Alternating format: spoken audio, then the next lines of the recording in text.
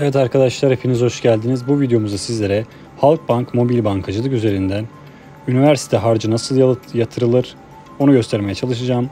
Uygulamaya giriş yapıyoruz Halk Bankası'nın ve ortada işlemler kısmını görüyorsunuz. Oraya tıklayarak bu sayfa açılıyor karşımıza. Ve bu sayfadan arkadaşlar ödemeler kısmı var yukarıda. Oraya tıklıyoruz. Ve sonrasında fatura ve kurum ödemesi diyor arkadaşlar. Oraya tıklıyoruz. Ve buradan eğitimi seçiyoruz. Ve burada hangi üniversiteye gittiğinizi, hangisinin harcını yatıracağınızı o üniversiteyi seçiyorsunuz buradan. Atıyorum Atatürk.